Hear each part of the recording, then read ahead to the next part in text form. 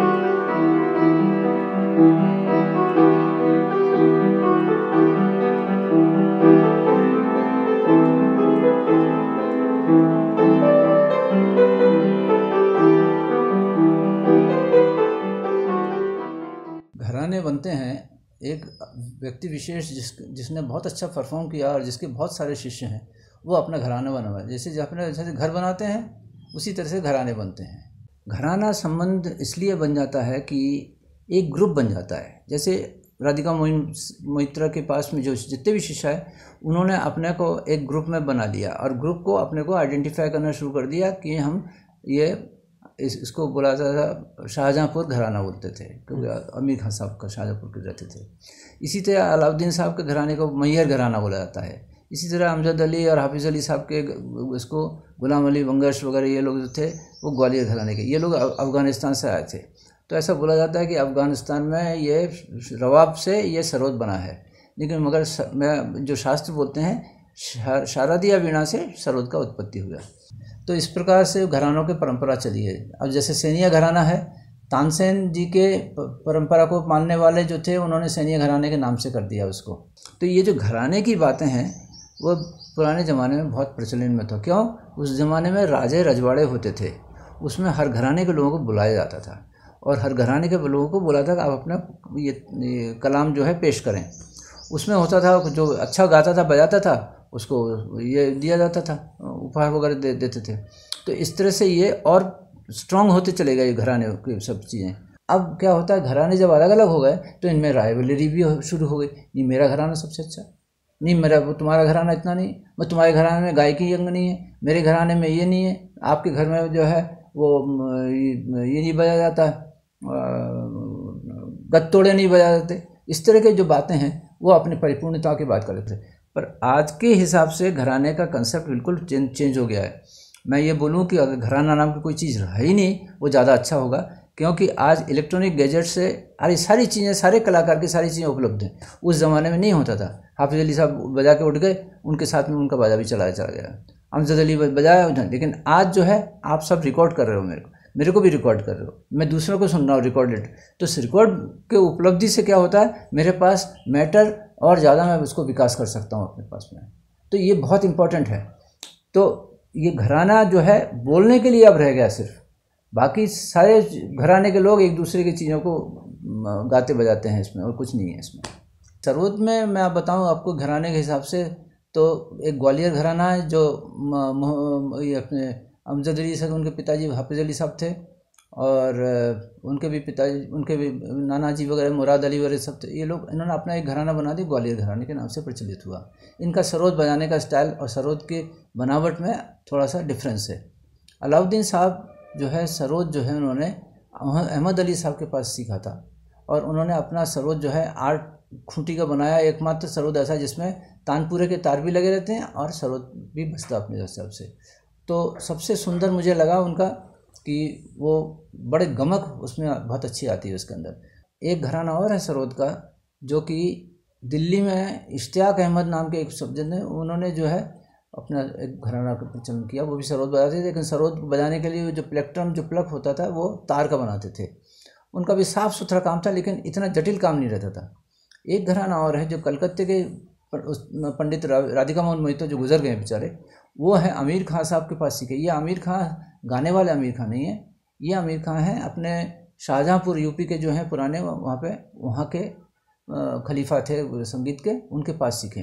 तो सबने जो विशेषता, हर आदमी के अपने कुछ ना कुछ काम करने की विशेषता होती है। एक ही घर में चार बच्चे होते हैं, चारों में कुछ ना कुछ विशेषता होती है। इस प्रकार उन्होंने भी गाने बजाने को भी अपने विशेषता के अनुसार ढाल लिया और अपने बच्चों को उस, वही फॉलो करवाया, अपने शिष्यों को वही फॉलो करवाया, जो सोचते थे कि इसको आगे जाना, इनको आगे ले जाना पड़ेगा तो। मेरे गुरुजी, अलाउद्दीन साहब के अनन्य शिष्यों में से एक रहे हैं। उस्ताद अली अकबर खां, सुप्रभात पाल जी, पंडित रविशंकर, निखिल बनर्जी, एक साथ में इनके, उसमें रहे, सानिध्य में रहे अलाउद्दीन साहब के। तो उनका डिसिप्लिन बहुत ज़बरदस्त होता था अलाउद्दीन साहब का। उसके बारे में हमको बोलते थे कि जैसे मैं भी अपने सीखने के टाइम में डिसिप्लिन रखूँ मैं अपना। वो बोलते थे कि अलाउद्दीन साहब, जब तक रियाज़ नहीं पूरा हो जाए, जब तक वो पानी तक नहीं पीने देते थे। आप पहले पूरे चार घंटे, पाँच घंटे रियाज़ कर लीजिए, उसके बाद चना और पानी मिलता था खाने को। और अगर भूख भी लगती है तो वो चेस करते रहते थे कि कोई खाने खाने नहीं बैठ जाए। इस तरह से डिसिप्लिन रखते थे। तो एक बार उस्ताद अली अकबर साहब ने जल, चुपचाप अपने माँ के पास से जाके कुछ खा लिया। तो बाबा अलाउद्दीन अली अकबर साहब को वायलिन की छड़ से इतना मारा इतना मारा कि उनकी एक उंगली तोड़ के रख दी उन्होंने। हमारे गुरुजी का कहना यह कि ठीक है डिसिप्लिन इतना रखो अच्छा है, लेकिन इतना भी नहीं रखो कि हाथ पैर टूट जाए गया, आँख खराब हो जाए इस तरह से। इतना डिसिप्लिन किसी काम का नहीं है।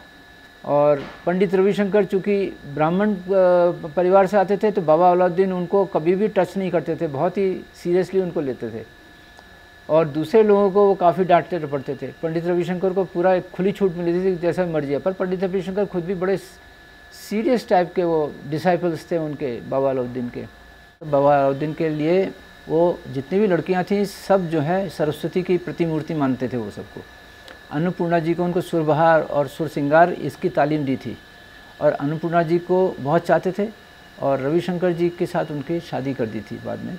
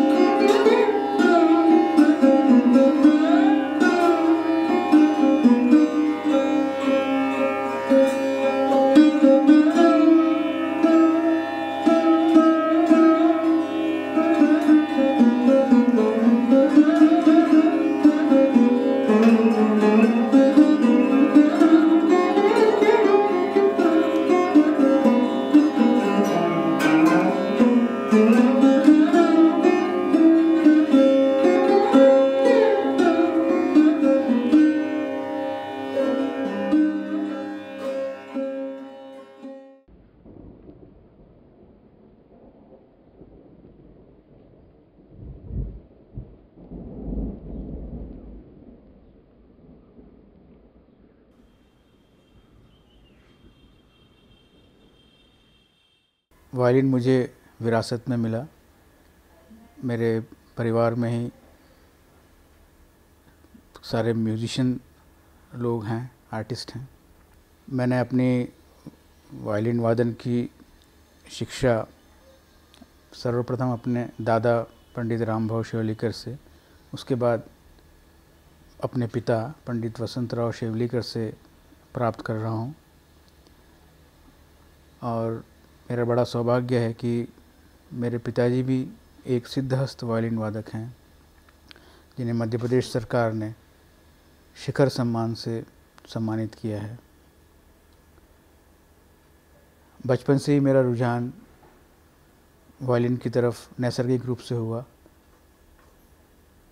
लगभग नौ साल की उम्र से मैंने वायलिन बजाना शुरू किया। वायलिन की ऐसे फॉर्मल ट्रेनिंग मेरी नहीं हुई। बस यूँ ही मेरे घर में सब लोग को मैं देखता था, पिताजी से वो लोग वायलिन सीखते थे। तो धीरे धीरे मेरे मन में भी आया कि भाई मुझे भी वायलिन बजाना चाहिए। लेकिन कभी मेरे पिताजी ने ऐसा नहीं बोला कि आओ आज वायलिन बजाओ, मैं तुमको सिखाता हूँ। ऐसा मेरा नहीं हुआ है। तो मैं बिल्कुल नैसर्गिक रूप से वायलिन की तरफ़ मेरा रुझान हुआ और उसी तरह से मैंने सीखा उसको।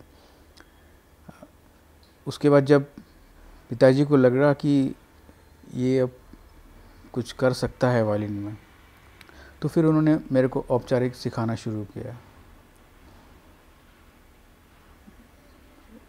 चूँकि पिताजी तंत्रकारी स्टाइल से शुरू में बजाया करते थे तो वही मैंने आत्मसात किया।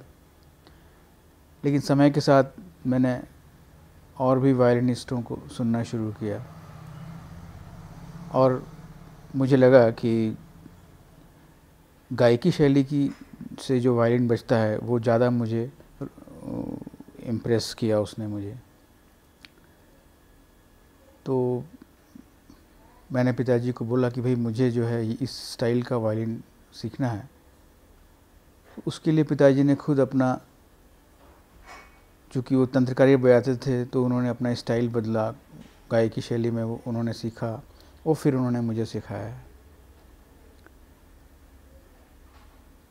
वैसे वायलिन मूलतः पश्चिमी जगत की देन है। वायलिन का आइडिया ज़रूर जो है वो इंडियन है। कहते हैं कि इसको, सबसे पहले इसको रावण ने बनाया था।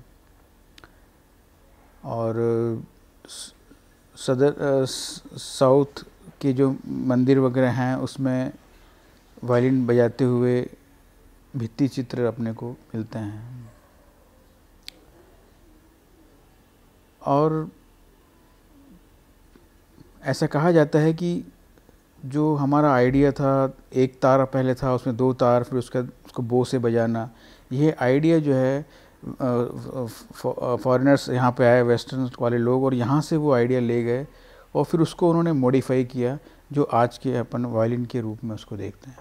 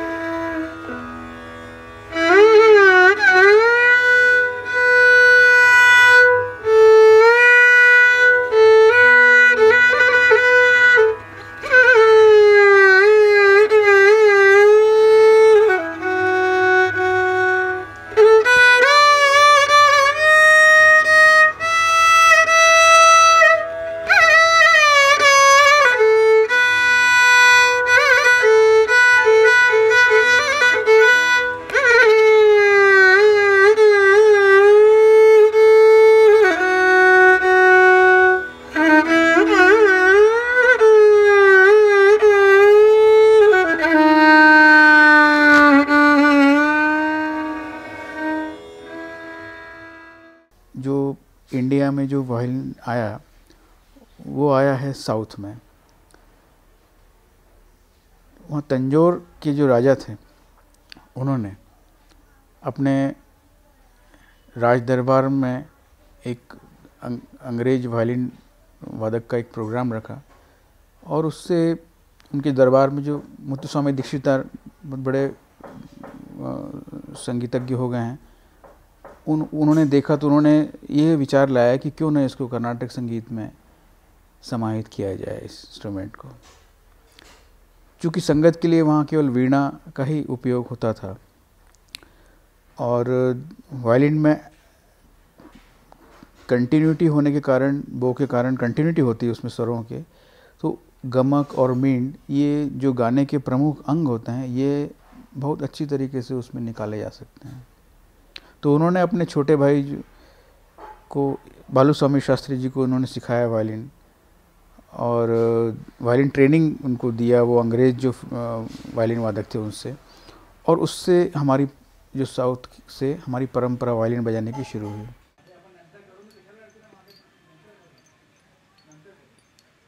जैसे कोई मशीन बिगड़ जाती है तो कोई सुधारते हैं उसको अपन तो अपना सारा ध्यान जो है वो मशीन ठीक करने में लग जाता है। तो वो जो तल्लीनता रहती है, वही तल्लीनता संगीत में भी उपयोगी पड़ती है। संग, लेकिन संगीत में यदि आप तल्लीन हो जाते हो तो आप जो है सारी दुनिया से कट जाते हो। ये मेरा व्यक्तिगत अनुभव है। यदि आप डूब जाते हो उसके अंदर तो आपको भान नहीं रहता ना समय का भान रहता है ना आपके चारों तरफ़ क्या हो रहा है उसका उसका भी भान नहीं रहता है आपको। तो ये यही तल्लीनता आप किसी भी और चीज़ों में काम करके ला सकते हैं। लेकिन डिफरेंस क्या है कि संगीत में एक बार डूबने के बाद आप जो है बाहर निकलने में आपको बहुत समय लगता है।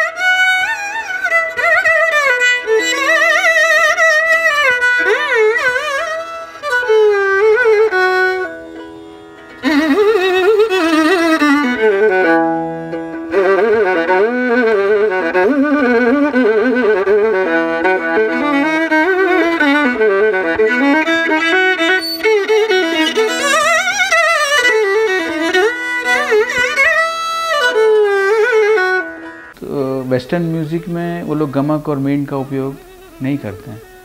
वही हमको जो है, गमक और मेन के उपयोग के लिए वायलिन पे एक नई शैली विकसित करनी विकसित करनी पड़ी।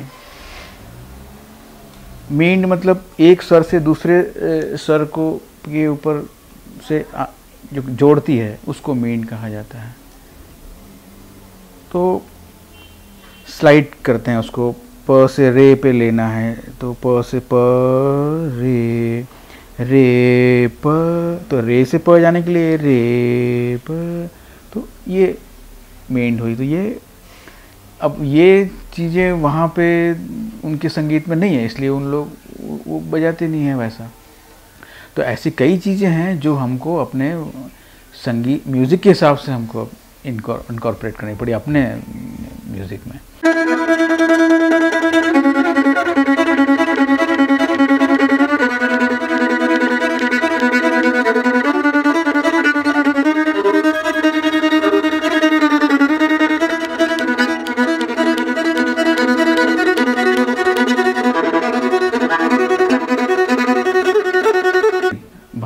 संगीत में केवल बंदिशी आपकी जो है वो कंपोज रहती है और आलाप जो पोर्शन रहता है वो पूरी तरीके से कलाकार का स्वनिर्मित रहता है। और, ये कलाकार की की कैलिबर के ऊपर डिपेंड करता है कि वो उसको कितनी गहराई पे ले जाता है राग को और फिर उसी चार पाँच स्वरों के विस्तार में ही वो अनंत ऊंचाइयों तक जाता है।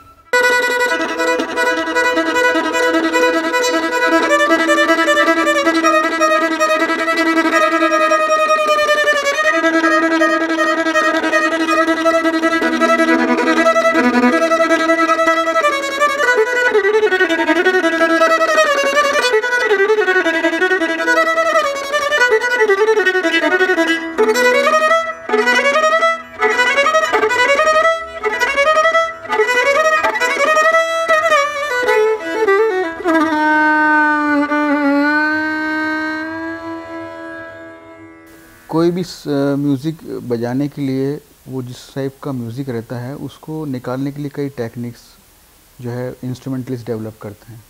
आज वर्तमान परिप्रेक्ष्य में वायलिन एक बहुत ही उन्नत वाद्य है और ऐसी मुझे लगता नहीं ऐसी कोई चीज़ हो जो इसमें वायलिन में बज नहीं सकती है। तो मुझे बड़ी खुशी है कि आज कई नए नए यंग बच्चे वायलिन की तरफ़ आकृष्ट हो रहे हैं और वायलिन वादन वैसे कोई भी इंस्ट्रूमेंट कठिन होता है, लेकिन वायलिन थोड़ा सा ज़्यादा कठिन है, क्योंकि स्वर का जो स्थान रहता है वो आपको अंदाज से लगाना पड़ता है। इसमें कोई निश्चित स्थान नहीं है कि ये आप दबाएँगे, यहाँ पे तो पूरा रे निकलेगा, या ग निकलेगा। तो आपको अंदाज से आपको देखना पड़ता है कि कहाँ वो जगह है और उससे स्वर निकलेगा। इतना कठिन होने के बावजूद भी आज भी वायलिन को जो यंग पीढ़ी है और आगे ले जाने की कोशिश कर रही है। और मेरी ये शुभकामना है यंग लोगों को कि और इसमें आएँ और इसको और अच्छी तरीके से बजाएँ।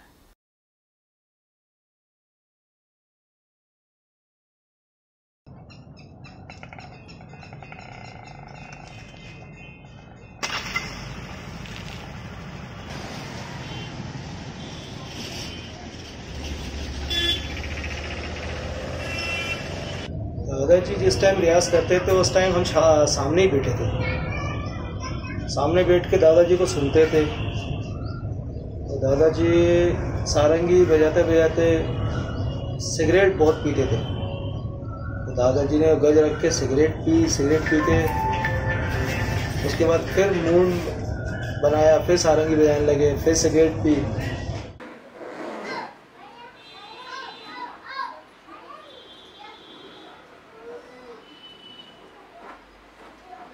सारंगी अपनी वॉइस के बहुत करीब है।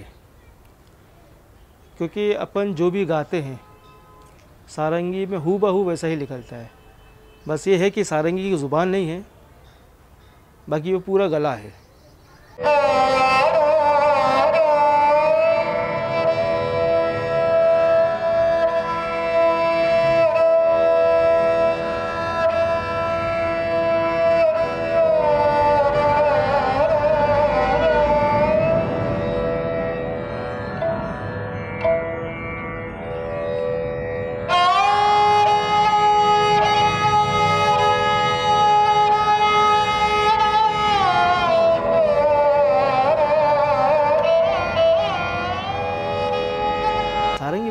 सबसे पहली बात तो है कि बहुत पेनफुल है, क्योंकि उसको बहुत ही मतलब नाजुक जगह से बजाया जाता है। तो यहाँ से बजाते हैं, चमड़ी और नाखून के बीच में। तो वहाँ पर जब सारंगी के तार पे अपन घिसते हैं तो यहाँ से ब्लडिंग होती है। तो ब्लडिंग होती है, नाखून भी टूटते हैं। तो शुरू शुरू में एक हफ़्ता तो बड़ा अच्छा लगता है कि अच्छे से बजा रहा उसके बाद जब निशान होने लगते हैं ब्लीडिंग होने लगती है।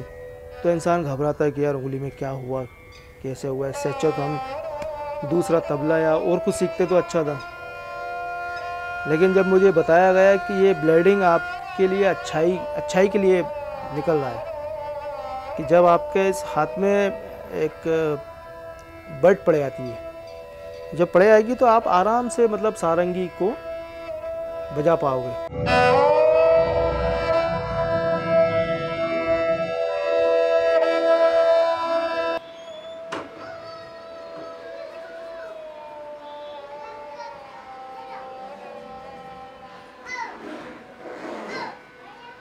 मेरे दादा पद्मश्री उस्ताद अब्दुल लतीफ़ खान साहब ने मुझको बहुत सपोर्ट किया। फिर उनसे बोला, मैंने दादा मैं सारंगी सीखूँगा।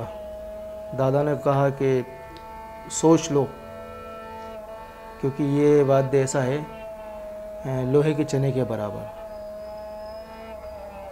मैंने कहा, दादाजी, अब जो होगा वो तो देखा जाएगा। मन में तो सारंगी बजाने की इच्छा है। कहला लेकिन फिर छोड़ना नहीं है इसको। एक बार सीख लिया तो छोड़ना नहीं। तो मैंने कहा, मरते दम तक नहीं छोड़ूँगा। जब तक मेरे अंदर सांस है, तब तक तो नहीं छोड़ूँगा। उन्होंने मुझसे यही कहा कह लगा कि बेटा, जितना मैं जब तक ज़िंदा हूँ, तब तक सीख लो, जितना सीखना है आपको। मैंने कहा, मैं मैं मतलब भावुक होके मैं भी यही कहता, दादाजी, ऐसी बात नहीं करा करो आप। ऊपर वाला आपको मेरी उम्र दे दे। कहले, नहीं बेटा, मौत, ज़िंदगी का कोई भरोसा नहीं है। जितना हो सके उतना सीख लो।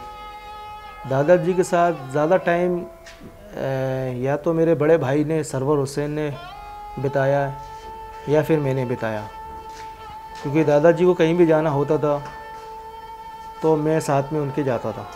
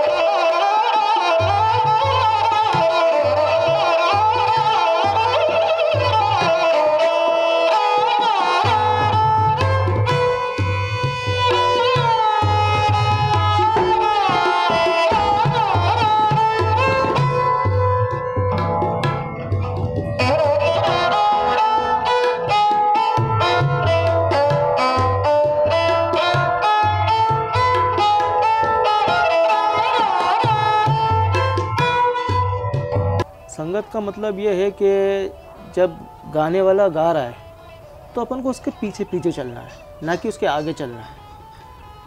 अगर सामने वाला पंचम पे खड़ा हुआ है तो अपन को हल्के से जाके पंचम पे खड़ा होना है।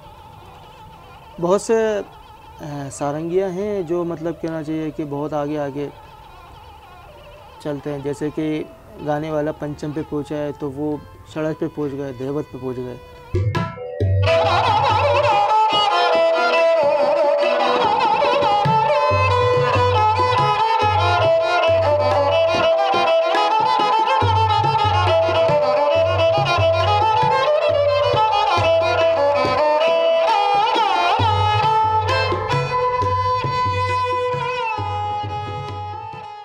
राग लेने के बाद उसका जो प्रयोग है राग का तो वो प्रयोग पहले मुँह से मैं गुनगुनाता हूँ कि यार ऐसा करेंगे तो ऐसा अच्छा लगेगा या ऐसा करेंगे तो ऐसा अच्छा लगेगा।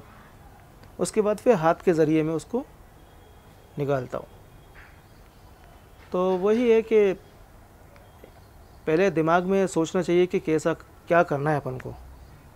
उसके बाद ऊपर वाले ने रियाज़ करवाया कि पहले तो रियाज खूब करो, कि रियाज से क्या है कि आपका हाथ बिल्कुल परफेक्ट हो। परफेक्ट होने के बाद, माशाल्लाह, हाथ भी अच्छा हुआ, जहन भी अच्छा हुआ।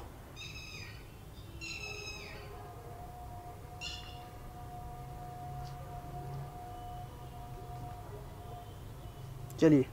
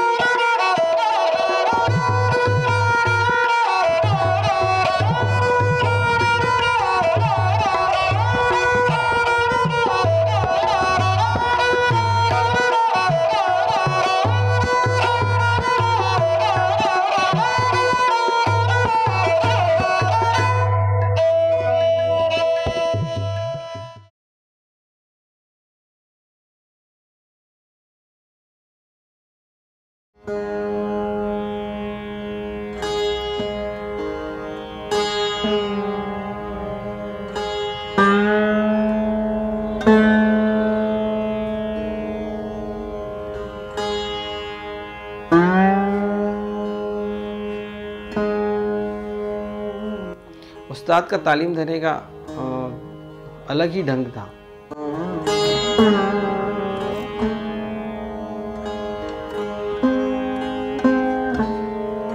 शिष्य में जिस तरह की कैपेसिटी हो, उस तरह उस्ताद उसको सिखाते थे। सुबह उठ के इंस्ट्रूमेंट के जो विद्यार्थी होते हैं वह सुबह उठ के मूर्छना करते थे, गाने वाले अपना खर्च का अभ्यास करते थे।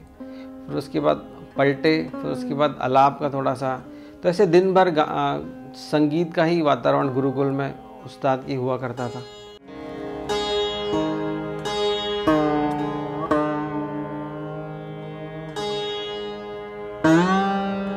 विद्यार्थी के क्या गुण होने चाहिए, इस पर वो बहुत ज़ोर ज़ोर देते थे। जैसे विद्यार्थी को अल्पहारी होना चाहिए। श्वान निद्रा यानी श्वान यानी कुत्ता, कुत्ते की तरह उसकी उसकी नींद होना चाहिए। काग चेष्टा, कौवे की तरह उसकी चेष्टा होना चाहिए। बकोधरा यानी जो आप बगुला बगुला कैसे नदी में पानी पानी में से मछली ले लेता है, वो इस तरह की उनके सिद्धांत थे जो वो विद्यार्थियों को फॉलो करवाते थे। इसलिए आज उनके शिष्यों की बहुत बड़ी फहरिस्त है।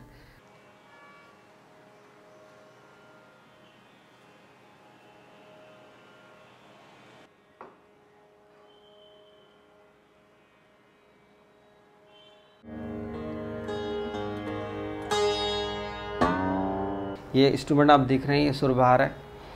ये सितार से पहले का इंस्ट्रूमेंट है, सितार से अलग है।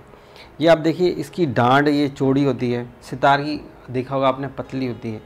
इसकी स्ट्रिंग इसकी स्ट्रिंग्स थिक होते हैं, मोटे होते हैं थोड़े। और अगर हम सितार संगीत की लैंग्वेज में बात करें तो ये पाँच से लेकर सात नंबर तक इसमें लगाए जाते हैं। पाँच नंबर छः नंबर, सात नंबर। सितार में थोड़े पतले स्ट्रिंग्स रहते हैं तो तीन नंबर जनरली लोग बजाते हैं। और जो इसको ट्यून करते हैं, इसको ट्यून हम लो पिच पे करते हैं। सांगीतिक भाषा में बोले तो काली चार या पाँच में। सितार को हम सी सी शार्प से लेकर डी यानी काली एक से लेकर थोड़ा ऊँचा और मिलाते हैं। दूसरा, इसके जो ये फ्लैट्स हैं, पर्दे, इनको पर्दे ही बोलते हैं, ये चौड़े होते हैं। और इस पर एक साथ पाँच से छः सुन की मीन निकलती है साउंड में। ये सुरबहार का जो तुम्बा है, वो कछुए की पीठ की तरह है, चपटा तुम्बा है। देखिए आप इसको, ये ऐसे चपटा रहता है, जबकि सितार का गोल गोल तुम्बा रहता है। इसलिए इसकी आवाज़ गंभीर होती है, सितार की थोड़ी चंचल होती है। इस पर अधिकतर धुपद ही बजाया जाता है। सितार दो प्रकार से बजाते हैं जनरली, एक तो गंधार पंचम और एक खर्ज पंचम। वो लोग सभी मिजराब का प्रयोग करते हैं। हम लोग इन फिंगरों का प्रयोग करते हैं।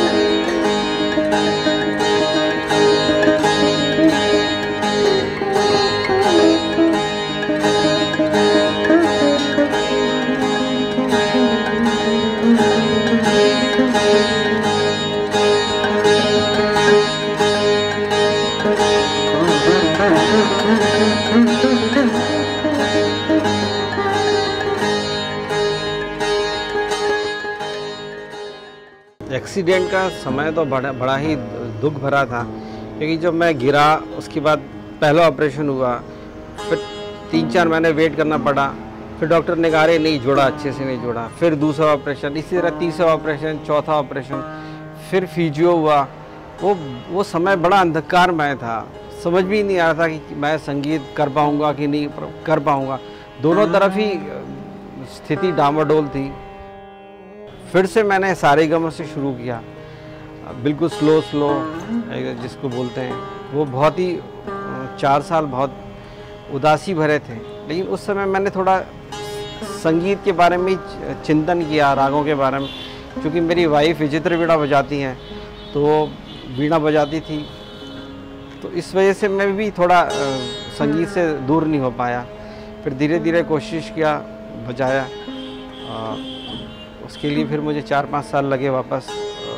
रूटीन तक आने में मेरे दृष्टिकोण से संगीत ईश्वर उपासना का सबसे अच्छा माध्यम है। ये मेडिटेटिव है इसमें इमोशनल फीलिंग सब सब होती है। संगीत के माध्यम से आप कर सकते हैं। मेडिटेशन होता है। जैसे कि मैं इतने एक्सीडेंट के बाद भी उभर उभर के आया और आज सुरभार जैसा बहुत कठिन इंस्ट्रूमेंट बजाने की कोशिश कर रहा हूँ।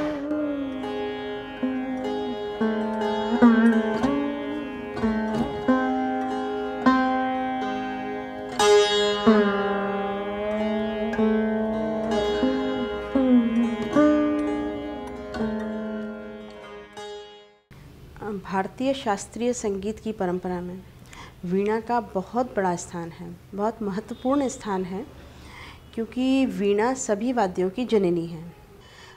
प्राचीन समय में एक सौ चौरासी प्रकार की वीणाएँ हुआ करती थी, पर अभी प्रचलन में चार हैं।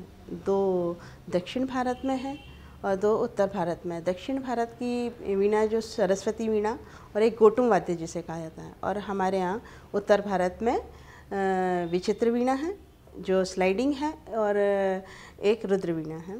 तो ये चारों वीणा अभी प्रचलन में हैं। भरत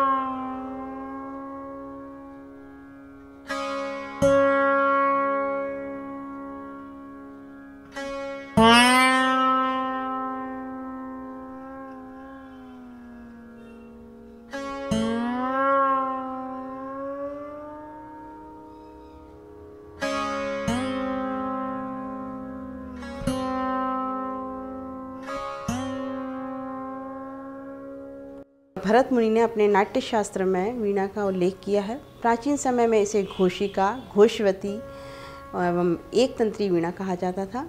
इसे आजकल विचित्र वीणा के नाम से जाना जाता है।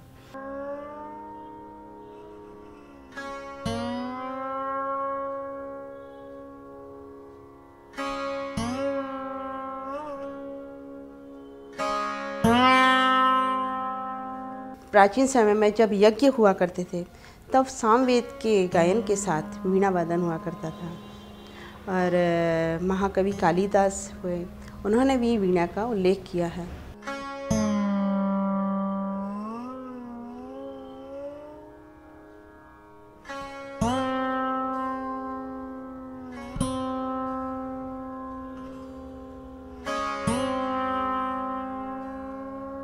महाकवि कालिदास द्वारा रचित स्वप्नवासव दत्ता। उसमें भी वीणा का उल्लेख है और राजा वासुकी जो थे, उनसे प्राप्त वीणा से उदयन नाम का उनका जो चरित्र है, वो स्वप्न वासव दत्ता का हृदय जीत लेता है उस वीणा के वादन से एवं हाथियों को अपने बस में कर लेता है। इस तरह वीणा का हमारे इतिहास में बहुत ही महत्वपूर्ण स्थान है।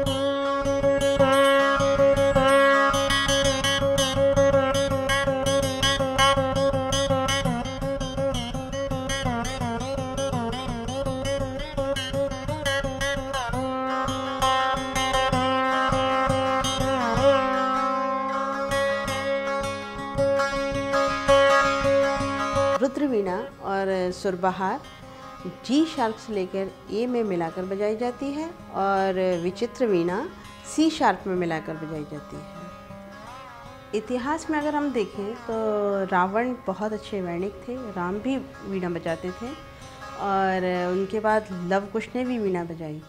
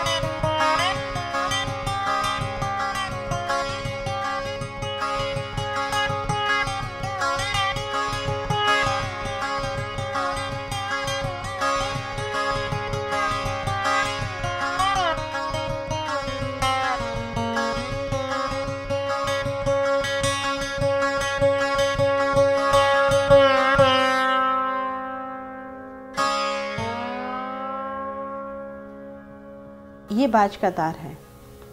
और इस, ये सेकंड नंबर पे है, जोड़ा।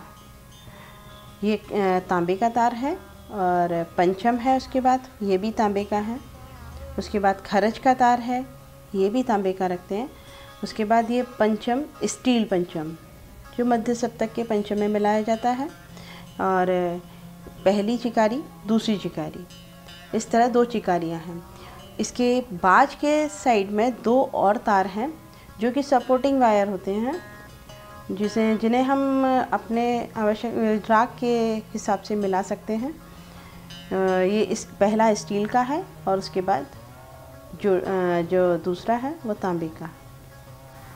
अगर हम देखते हैं वीणा का लुप्त होने का कारण तो उसमें एक तो कलाकारों की पहले जो सोच थी थोड़ी संकुचित हुआ करती थी कि कुछ कलाकारों के बारे में कह सकते क्योंकि कि उसने अपनी फैमिली को ही ये म्यूज़िक बता सिखाया। यानी हमारा बेटा ही हमारे आ, कला को सीखेगा। इवन कि बेटियों को भी कम सिखाया जाता था। तो दूसरा कारण ये रहा कि आ, जो वीणा वाद्य है काफ़ी गंभीर है। तो इसका जो आलाप का स्टाइल है एकदम आध्यात्मिक है। एक स्वर को कितने तरीके से हमें बजाना होता है, उसमें कितनी वेरिएशन कर सकते हैं, कितनी वैरायटीज़ करते हैं। तो एक ध्रुपद एक गंभीर गायकी है, गंभीर और इस पर हम ध्रुपद स्टाइल से अगर बजाते हैं तो वो गंभीर शैली है। तो उतना पेशेंस उतना धैर्य रख के बजाना।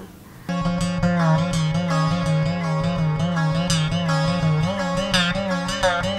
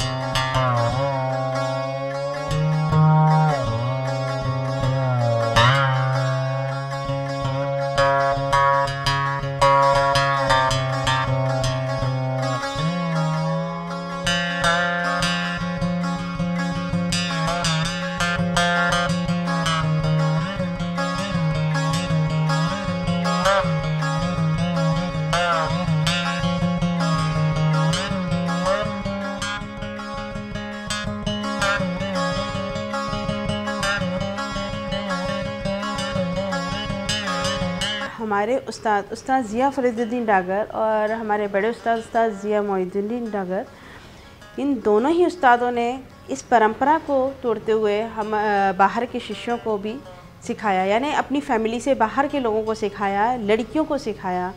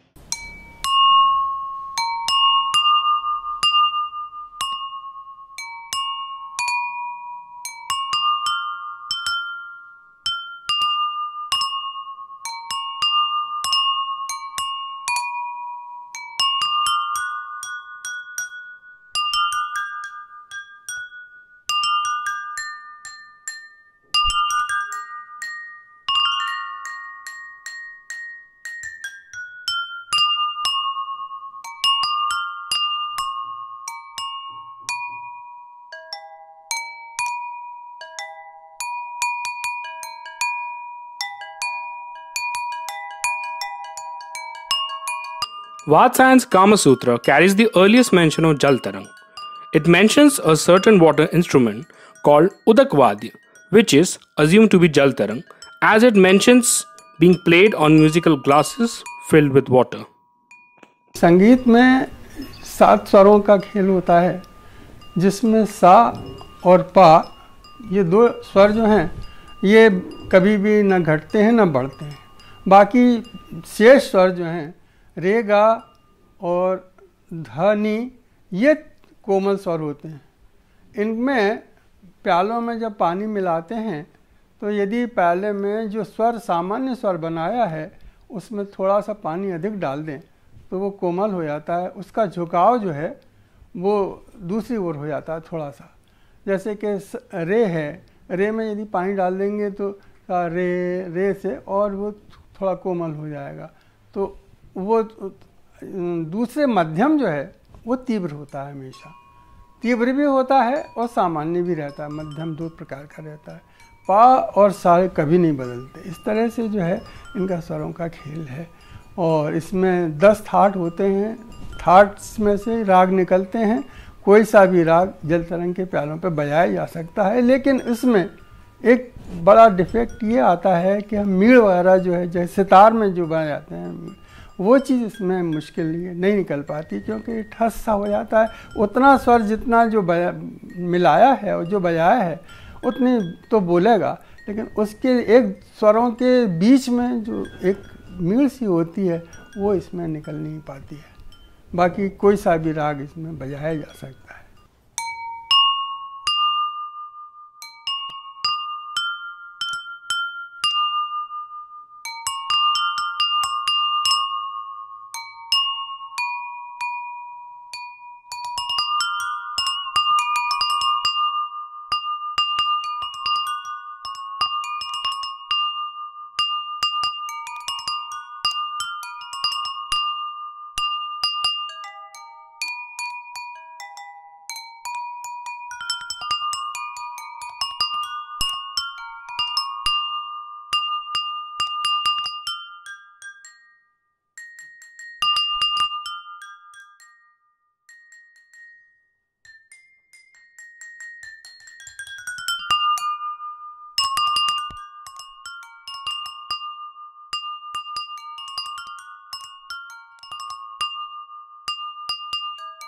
उल्लेख जो है संगीत पारिजात के उसमें उसमें मिलता है।